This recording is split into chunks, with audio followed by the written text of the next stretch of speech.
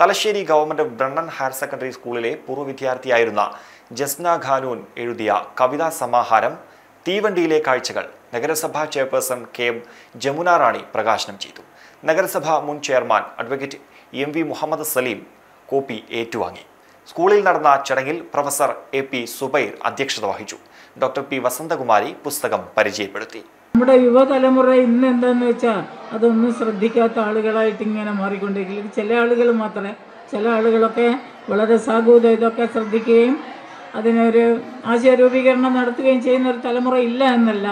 പക്ഷേ പലപ്പോഴും ഒരു തീവണ്ടിയിൽ നമ്മളും കയറിയിട്ടുണ്ടാവും. അപ്പോൾ അതിലെ കാഴ്ചകളോ അല്ലെങ്കിൽ അതിന്റെ അനുഭവങ്ങളോ ഒക്കെ ഓർത്തെടുത്ത് കവിതയാക്കി അത് നമ്മുടെ മുമ്പിലേക്ക് തരികയാണ് ഒരു മഹത്തായ കർമ്മം തന്നെയാണ്.